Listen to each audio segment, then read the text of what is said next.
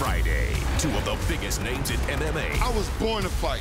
Let's do this. Kimbo wants to brawl? I will destroy him.